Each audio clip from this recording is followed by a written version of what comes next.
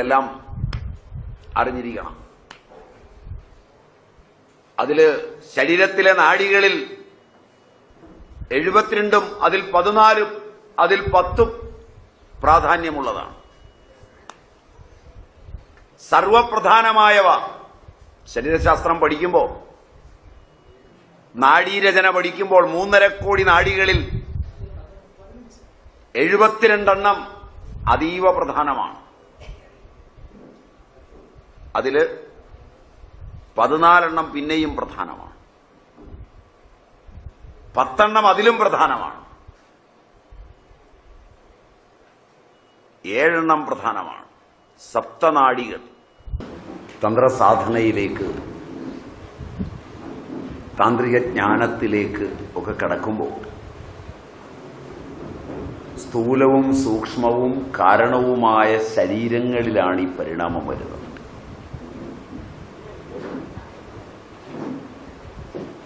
അനുഭൂതികളെന്ന് പറയുന്നത്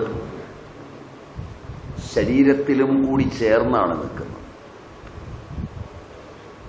അതുകൊണ്ട് തന്നെ ആ പരിണാമത്തിന് വിധേയമാകുന്ന ശരീരത്തെക്കുറിച്ച് നല്ല ധാരണയില്ലെങ്കിൽ ആകെ അപകടമുണ്ടാവും. താന്ത്രിക സാധനയുടെ ചില അംശങ്ങൾ മാത്രമാണ് ആധുനിക കാലത്ത് ഭൈരവതന്ത്രം പോലുള്ള ഗ്രന്ഥങ്ങളിൽ നിന്നെടുത്ത് പല ആചാര്യന്മാരും ക്ഷിപ്രസാധ്യമായി ഉപയോഗിക്കുന്നു. ഒരു വർഷം ആയിരക്കണക്കിന് രോഗികളെയാണ് ഈ വഴിയിൽ സൃഷ്ടിക്കുന്നത്.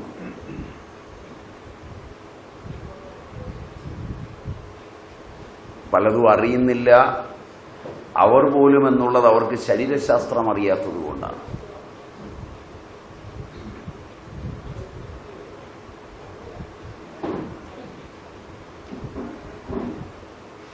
ആധുനിക കാലത്ത് സ്രോതസ്സുകളിലെ ബ്ലോക്ക് സർവത്ര കേൾക്കാം.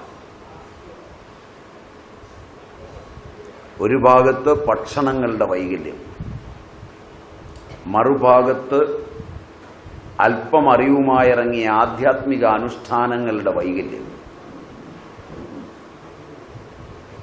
വൈകല്യം മൂന്ന് തരം.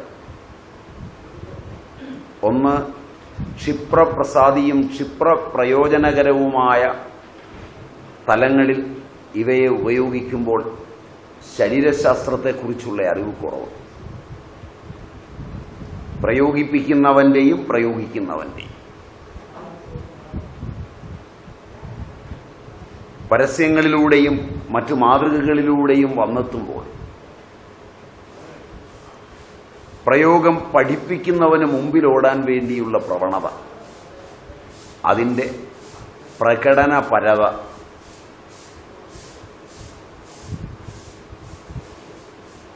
അല്പം പഠിക്കുന്നതിന് മുമ്പ് അതിനേക്കാൾ വിപുലമായ സ്ഥാപനങ്ങൾ ഉണ്ടാക്കാനുള്ള വ്യഗ്രത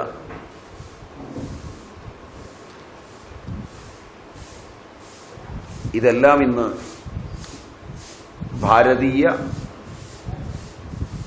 അനുഷ്ഠാന ലോകത്ത് സർവസാധാരണമാണ്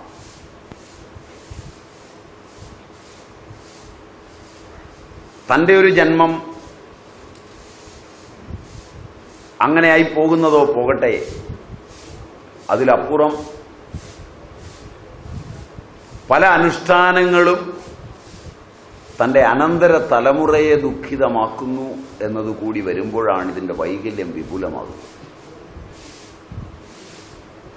പ്രത്യേകിച്ചും സിദ്ധാസന ശീർഷാസനാദികളുടെ പ്രയോഗങ്ങളും ചില പ്രാണായാമ പ്രക്രിയകളും.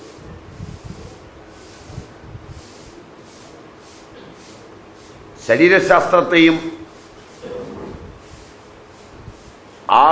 ആഹാരാദി മര്യാദകളെയും ആഹ്രിയന്ത ഇത്യാഹാരഹ എന്ന പ്രമാണമനുസരിച്ച് ശബ്ദസ്പർശ രൂപരസഗന്ധാദികളായിരിക്കുന്ന വിഷയേന്ദ്രിയ വ്യാപാരങ്ങളെയും കൃത്യമായി ശോധന ചെയ്യാതെ ചെയ്യുന്ന അനുഷ്ഠാനങ്ങൾ പലതും പ്രാണനിൽ ആവൃത്തി ഉണ്ടാക്കുന്നു എന്നുള്ളത് ശക്തമാണ്.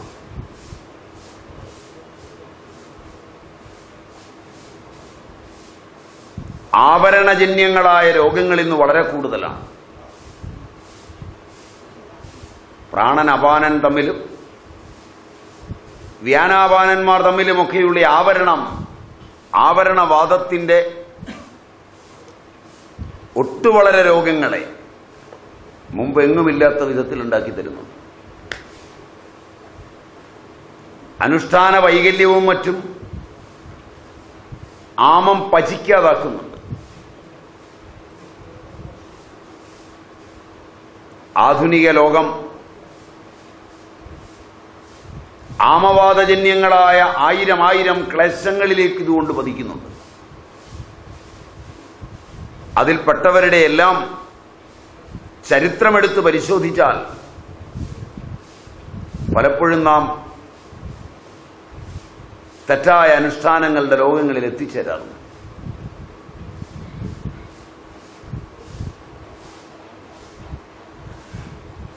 ഇതിലുപരി ചടുലങ്ങളായ പ്രാണായാമങ്ങളിലൂടെയും മറ്റും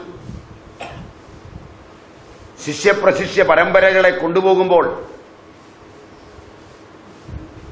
ശരീരത്തിനുണ്ടാകുന്ന അത്യധികമായ അഗ്നിയുടെ ആന്തരിക താപം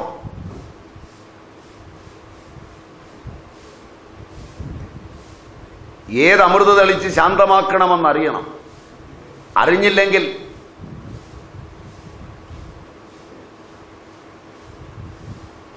കഫത്തിനിരിപ്പിടമായ മസ്തിഷ്കം കഫാശ്ലേഷിതമാവുകയും ഹൃദ്വിദ്യകൾ താങ്ങാനാവാത്ത വിധം വിഷമിക്കുകയും ചെയ്യും.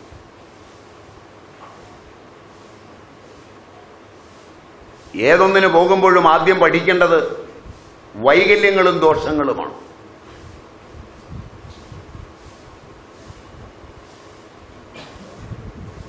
പലപ്പോഴും പഠിപ്പിക്കുന്ന ആചാര്യന്മാരുടെ അടുക്കൽ നിന്ന് സാന്ത്വനം ലഭിക്കാതെ വരുമ്പോൾ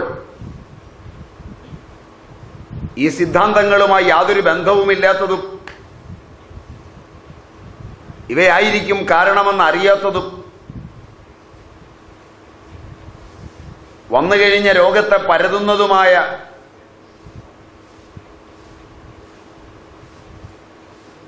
ആധുനിക ഭിഷഗ്വരന്മാരുടെ സ്ഥൂല ശരീരത്തിൽ മാത്രം അധിഷ്ഠിതമായ പരീക്ഷണ നിരീക്ഷണങ്ങളിലേക്കാണ് രോഗി വലിച്ചെറിയപ്പെടുന്നത്.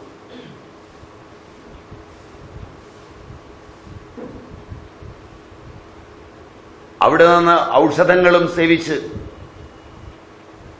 ശമനം കാണാതെ ഉത്കണ്ഠാകുലമാകുമ്പോൾ ശാരീരിക രോഗങ്ങൾ ശാരീരിക തലങ്ങളിൽ നിന്ന് തമസ്സിനെയും സ്വീകരിച്ച്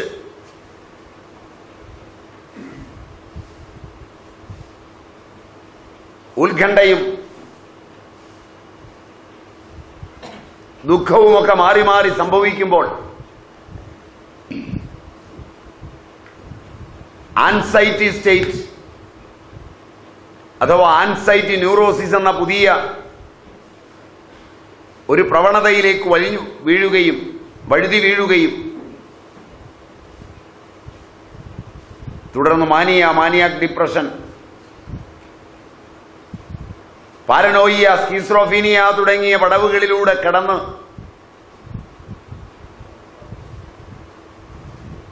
അത്യന്തം വിഷാദാത്മകമായ അവസ്ഥയിൽ എത്തുകയും ചെയ്യുന്നത് സർവസാധാരണമായിരിക്കുന്നു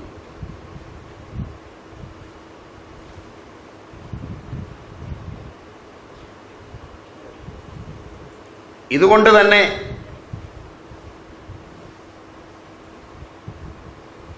അതിനുശേഷമാണ് ഈ കുഴപ്പങ്ങൾ കണ്ടു തുടങ്ങിയത് എന്ന്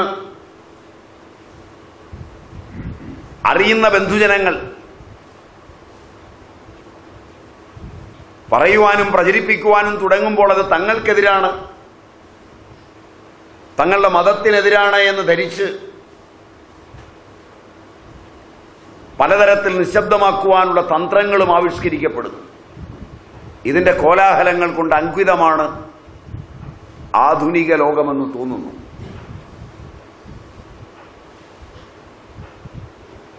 ഞാൻ പറഞ്ഞതിൽ അല്പം പോലും ശരിയില്ലായിരിക്കണമെന്നാണ് എന്റെ ആഗ്രഹം.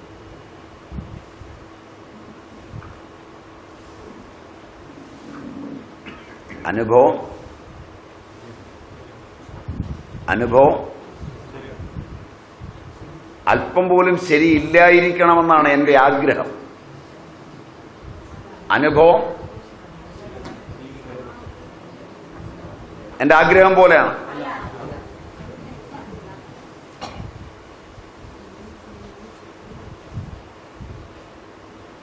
ഇവിടെയാണ് വളരെ സൂക്ഷിക്കേണ്ടത്.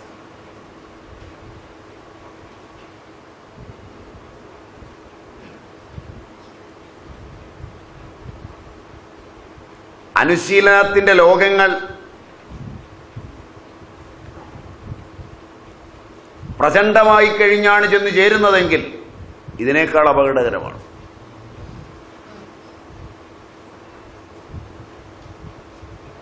അനുശീലനത്തിന്റെ ലോകങ്ങൾ പ്രചണ്ഡമാവുക എന്ന് പറഞ്ഞാൽ സാൽമ്യം വരിക എന്നർത്ഥം.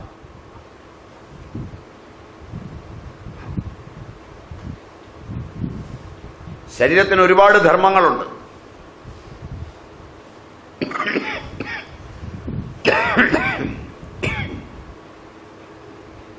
അതിനെ അനുനയിപ്പിച്ച് കൊണ്ടുപോകണമെങ്കിൽ ശ്രമകരമാണ്. ദൃഷ്ടാന്തവുമാകാം. മനസ്സിലായില്ലെങ്കിൽ. മനസ്സിലായെന്ന് വിചാരിക്കുന്നു. രാവിലെ എട്ട് മണിക്ക് ഒരാഹാരം കഴിക്കുന്നവൻ പതിവായൊരു പത്ത് പതിനഞ്ച് ദിവസം എട്ട് മണിക്ക് കഴിച്ച്. അടുത്ത ദിവസം എട്ട് മണിക്ക് കഴിക്കാൻ മറന്നുപോയാൽ ഒരു ചെറിയ വയറുവേദന ഉണ്ടാവും. ഒരു പരുങ്ങൽ എന്ന് പറയും.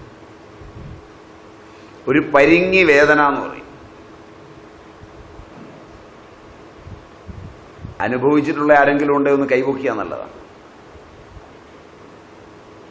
ആ വേദന വരുന്നത് ദഹിപ്പിക്കാനുള്ള ഹോർമോണുകളും എൻസൈമുകളും ഒക്കെ റെഡിയായി വന്നതിന്റെയാണ് അത് വരുമ്പോൾ അവിടെ ആഹാരം വേണം. അതില്ലെങ്കിലാണ് കുടലിന്റെ ഭിത്തിയെ അത് തിന്നുന്നത്. തൽക്കാലം ആ അഗ്നിക്ക് എന്തെങ്കിലും തിന്നാതെ പോകാൻ പറ്റില്ല. തിരിച്ചു മടങ്ങില്ല അതിന്റെ പാതയിൽ. അപ്പോൾ തിന്ന ഭാഗത്ത് ചെതലരിച്ച പോലെ കാണും. അടുത്ത ദിവസം ഏഴു മണിക്ക് കഴിച്ചാൽ ഇവൻ വരൂല. അത് ദഹിക്കാതെ അവിടെ പറ്റി പിടിച്ച് കുളമാവും അടുത്ത ദിവസം നാരില്ലാത്ത ഒരു സാധനമാണ് കഴിക്കുന്നതെങ്കിൽ ആ പറ്റി പിടിച്ചതൊന്നും പുറത്തു പോകില്ല നാരുള്ളതാണ് കഴിക്കുന്നതെങ്കിൽ നാര് ദഹനരസങ്ങൾ ചേർന്ന് സോഫ്റ്റ് ആവും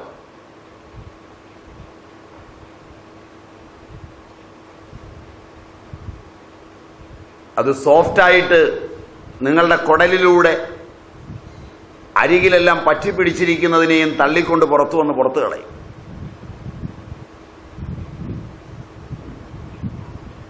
മനസ്സിലാവുമോ പ്രക്രിയ എന്നറിയില്ല?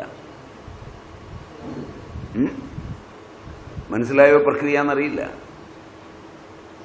ഇതിനു പകരം അനുഷ്ഠാനമാണെന്ന് ആരോ പറയുന്നത് കേട്ട് പല സമയത്ത് പല സ്ഥലത്ത് പലതരത്തിൽ പലതരം ഭക്ഷണങ്ങൾ മാറി മാറി കഴിക്കുമ്പോൾ അവയുടെ വ്യത്യസ്തതകളെല്ലാം അനുസരിച്ച് അവയുടെ നിറവും മണവും ഗുണവും രുചിയും ഭേദവും അനുസരിച്ചെല്ലാം ബ്രെയിൻ കഷ്ടപ്പെട്ട് ദഹനരസങ്ങളെ ഉണ്ടാക്കണം.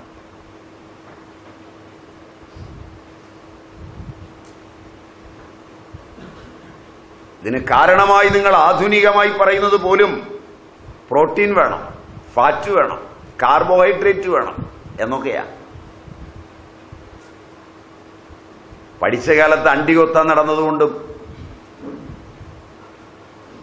ബിയറടിക്കാൻ പോയതുകൊണ്ടും ചീട്ട് കളിക്കാൻ പോയതുകൊണ്ടും ശരീരശാസ്ത്രമൊന്നും തലയിലുണ്ടാകാൻ സാധ്യതയുമില്ല.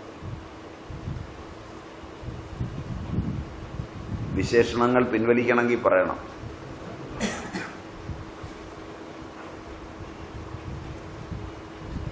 കാർബോഹൈഡ്രേറ്റ് എന്ന് പറയുന്നത് കാർബണും ഹൈഡ്രജനും ഓക്സിജനുമാണ്. ഫാറ്റ് എന്ന് പറയുന്നത് കാർബണും ഹൈഡ്രജനും ഓക്സിജനുമാണ്. പ്രോട്ടീൻ എന്ന് പറയുന്നത് കാർബണും ഹൈഡ്രജനും ഓക്സിജനും നൈട്രജനുമാണ്. എന്ത് സാധനം കഴിച്ചാലും ഇത് ഫാറ്റായിട്ട് ശരീരം സൂക്ഷിക്കുകയുള്ളൂ ഇതറിയുന്നവൻ സാധന ചെയ്യുമ്പോഴേ സാധനയാവും.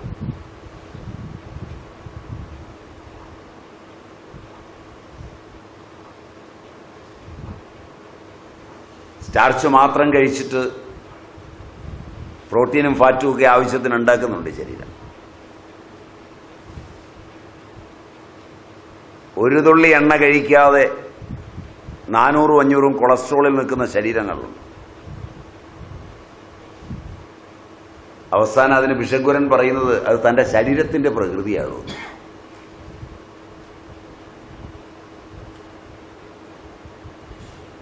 ശരീരം ഉണ്ടാക്കും കൊഴുപ്പിനെ. ഉണ്ടാക്കുന്നത് ഈ കാർബോഹൈഡ്രേറ്റും പ്രോട്ടീനും കാർബൺ ഹൈഡ്രജൻ ഓക്സിജൻ ഇവയെ ചേർത്ത് വെച്ചിട്ടുള്ള കളിയിൽ തന്നെയാണ്. ഇതിന്റെ കൺവെർഷൻ ടേബിൾ കൃത്യമായി ബ്രെയിനുണ്ട്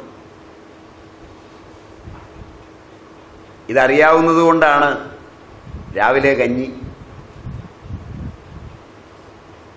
ഒരു നാരങ്ങാക്കറിയോ ഒരല്പം മാങ്ങാക്കറിയോ ഒരു മുളകും പുളി ഉടച്ചതോ കൂട്ടി കഞ്ഞി കുടിച്ചു. എന്നിട്ട് ചക്രം ചവിട്ടാൻ പോയി. പുല്ല് പറിക്കാൻ പോയി. പശുവിനെ തീറ്റാൻ പോയി. നെല്ല് ചുമക്കാൻ പോയി. ഉച്ചയ്ക്ക് ചോറുണ്ടു. അപ്പോഴും മുളക് പൊട്ടിക്കാനൊക്കെ ഉണ്ടായിരുന്നുള്ളൂ.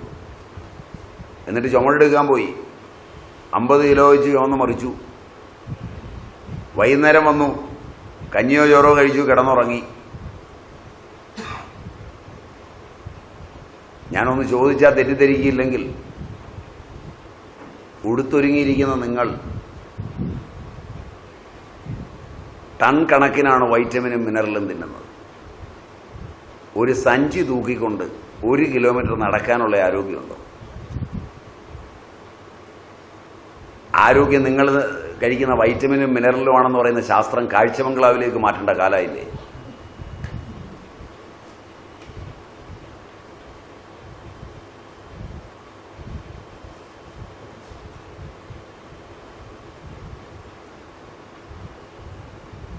ഉത്തരം കേൾക്കാൻ ഇഷ്ടമുണ്ട്.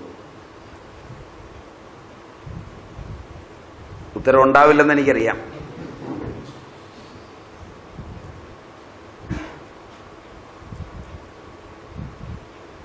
എന്നിട്ട് ഈ ഭാരതീയ ചിന്തയെയൊക്കെ ആധുനിക ശാസ്ത്രത്തോട് ബന്ധിപ്പിക്കണമെന്ന് തോന്നുന്ന നിങ്ങളുടെ കുൽസിത ബുദ്ധി ഇനിയെങ്കിലും കളഞ്ഞുകൂടെ?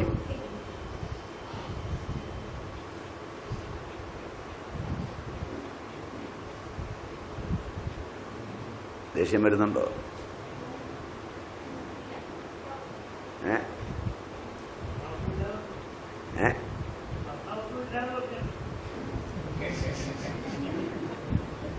വരുന്നുണ്ടോ വരാതിരിക്കുന്നില്ല വരുന്നുണ്ട്.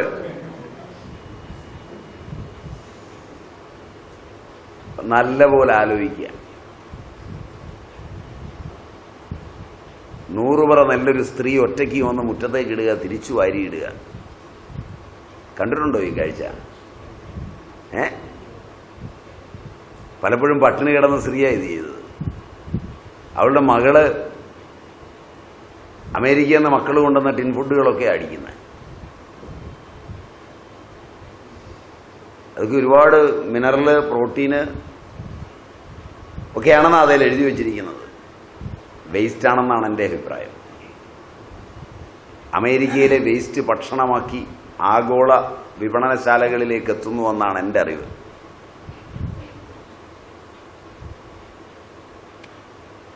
അമേരിക്കയിലെ മുഖ്യമായ തൊഴിൽ മധ്യവർഗത്തിന്റെത് വേസ്റ്റ് പെറുക്കലാണ്.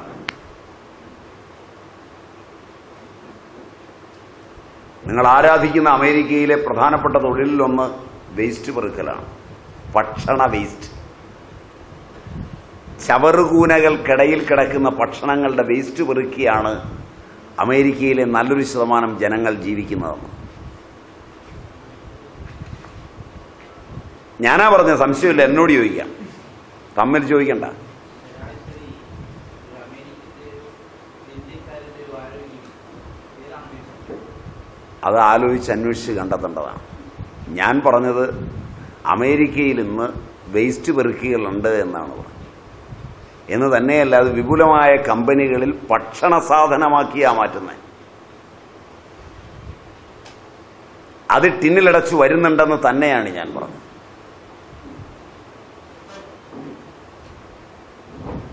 ഇങ്ങനൊരു പടം ഇറങ്ങിയിരുന്നു. നിങ്ങൾ കണ്ടിട്ടുണ്ടോ എന്നറിയില്ല പേരറിയോ ആർക്കെങ്കിലും? Dive the film.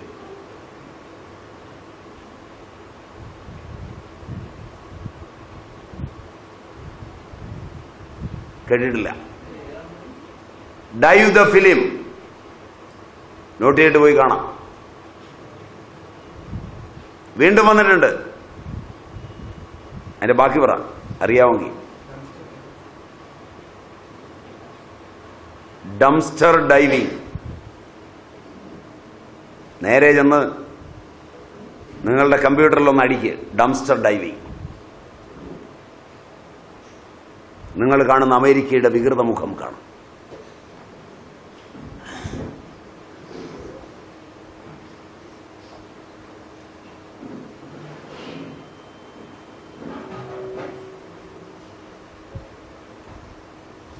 ഒരുപാട് അഭിമാനത്തോടെ ആ പിള്ളേരെയൊക്കെ പറഞ്ഞു വിട്ടിട്ടുണ്ടാവുക.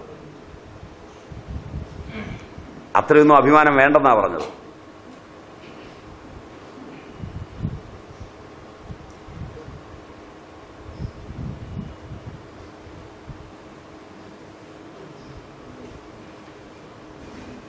വാൾസ്ട്രീറ്റ് അറിയുമായിരിക്കും നോ?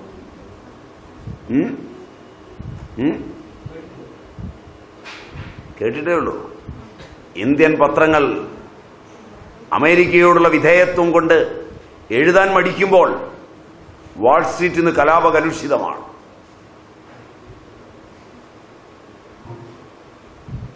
ദാരിദ്ര്യം പ്രചണ്ഡമായി വേട്ടയാടുകയാണ് ഈ രാജ്യത്തെ.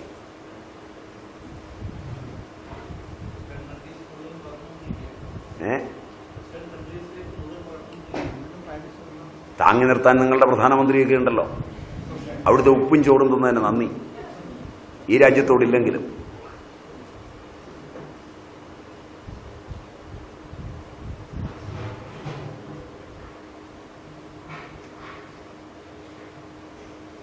നിങ്ങൾ ഇരന്ന് വാങ്ങിക്കുമെന്ന് എനിക്ക് തോന്നുന്നു.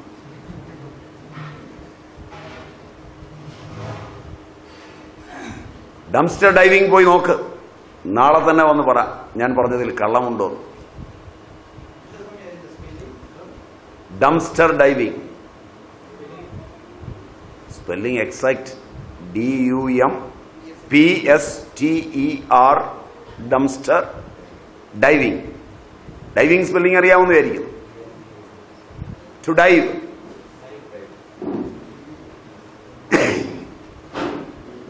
കയ്യിലുണ്ടാവുമല്ലോ നല്ല വലിയ മൊബൈലൊക്കെ പുറത്തേക്ക് ഇറങ്ങിയിരുന്ന് അടിച്ചു നോക്കും. അപ്പൊ അതിന് എല്ലാം കൂടെ തന്നെയല്ലേ കൊണ്ടു കിടക്കുന്നത് ഞാൻ ചുമ്മാ പറഞ്ഞതെന്ന് കൂട്ടിയാൽ പക്ഷെ പലപ്പോഴും നിങ്ങളെക്കാൾ ഭേദം ഞാനാണെന്ന് എനിക്ക് തോന്നാറ്. ഏ? പലപ്പോഴും നിങ്ങളെക്കാൾ ഭേദം ഞാനാണെന്ന് എനിക്ക് തോന്നാറുണ്ട് ഇതൊന്നും ഉപയോഗിച്ചില്ലെങ്കിലും.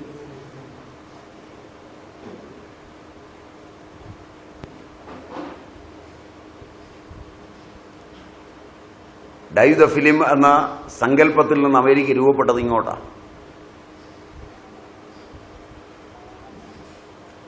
അതൊക്കെയാണ് വലിയ വൈറ്റമിനും മിനറലുമായി നിങ്ങൾ വരുത്തി കഴിച്ചുകൊണ്ടിരിക്കുന്നത് മറക്കരുത് കേട്ടോ. പഴയ കാലത്ത് അങ്കണഭംഗിയായിരുന്നു കോഴി.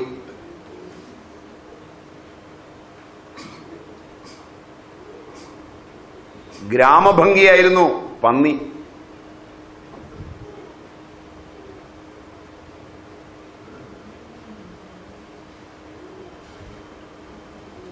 നഗരഭംഗിയായിരുന്നു കാക്ക. അതൊക്കെ നാമാവശേഷമായപ്പോ അതിന്റെ ജന്മം നിങ്ങളിൽ ഉണ്ടായിരിക്കണം തിന്നു തീർക്കണം.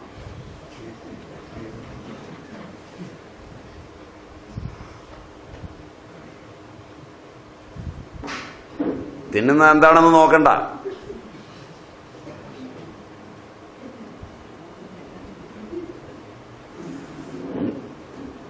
ഇപ്പോഴാ കത്തിയതല്ലേ? ഞാൻ വിചാരിച്ചു ഇതൊക്കെ സി എഫ് എല്ലാം ആകുമ്പെങ്കിലും ആണെന്നാ വിചാരിച്ചു. ട്യൂബാണെന്ന് മനസ്സിലായി.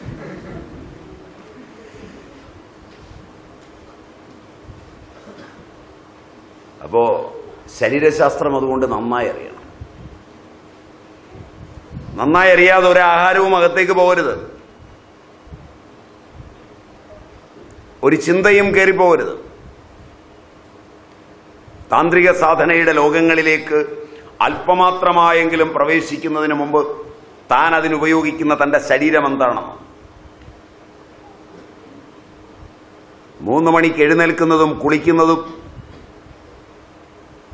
കൗബീനമെടുക്കുന്നതും ഈറൻ തോർത്ത് വലിച്ചു കെട്ടുന്നതും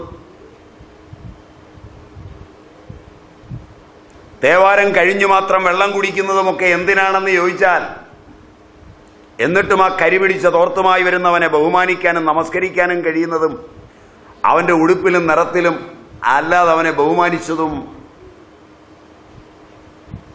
അവന്റെ കോശ കോശാന്തരങ്ങളിൽ നിന്ന് പ്രവഹിക്കുന്ന സ്പന്ദത്തിന്റെ ശൈവസ്പന്ദത്തിന്റെ അതിമനോഹര ഭാവങ്ങൾ ചുറ്റുപാടുകളെ ആസേചനം ചെയ്തതുകൊണ്ടാണ്.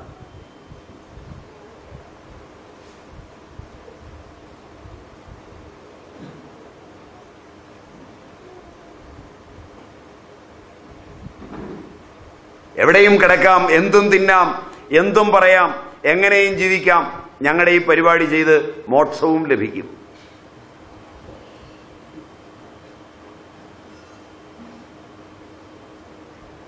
ആധുനിക ലോകത്തിന് പറ്റിയ മാനേജ്മെന്റ് ഗുരുക്കന്മാർ. അവരുപയോഗിക്കുന്നതോ തന്ത്രരഹസ്യത്തിന്റെ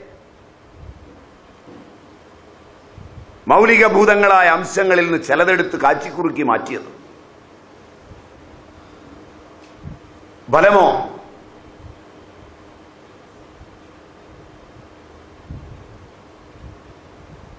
മഹാരോഗങ്ങളിലേക്കുള്ള ജൈത്രയാത്ര.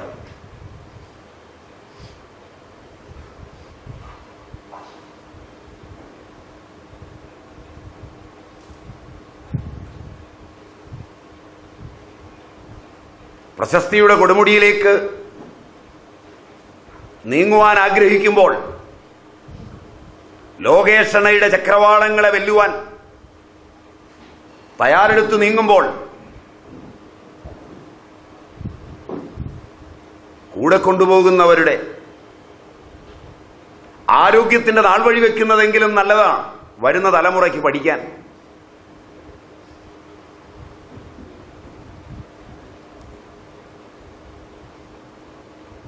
ആചാര്യന്മാർ മറന്നുപോയാൽ കൂട്ടയോട്ടത്തിൽ കൂടെ ഓടുന്നവൻ സ്വന്തം ആരോഗ്യത്തിന്റെ നാൾ വഴി വെച്ച് യാത്രയുടെ ഓരോ ഘട്ടങ്ങളിലും പുനഃപരിശോധന ചെയ്യുന്നത് നല്ലതാണ്.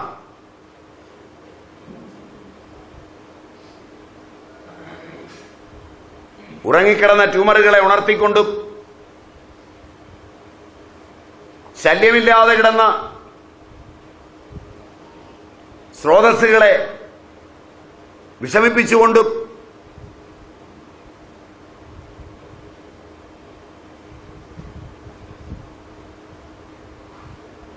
കുടുംബത്തിന്റെയും കുട്ടികളുടെയും ആരോഗ്യനിലയെ കവർന്നുകൊണ്ടുമാണോ ഈ യാത്രയെന്നറിയാൻ ഈ വഴിക്കിറങ്ങിത്തിരിക്കുമ്പോൾ സ്വന്തം ശാരീരിക സ്ഥാനത്തിന്റെ അവസ്ഥാന്തരങ്ങൾ അറിയാൻ ഒരു നാൾ വഴി കുറിച്ചു വയ്ക്കുന്നത് ഉത്തമമാണ്.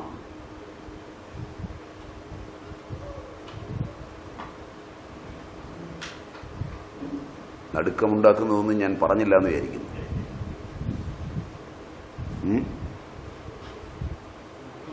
നടുക്കമുണ്ടാക്കുന്ന ഒന്നും ഞാൻ പറഞ്ഞില്ല എന്ന് വിചാരിക്കുന്നു.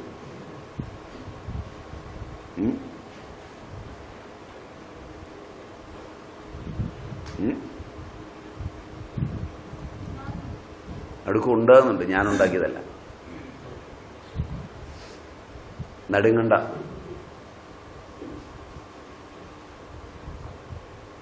പരിഹരിക്കാൻ പിതൃപൈതാമഹ സംപ്രാപ്തമായ പാരമ്പര്യത്തിന്റെ വഴിയിലൂടെ പതിനാ പതിനാല് നാൾ സഞ്ചരിച്ചാൽ മതി.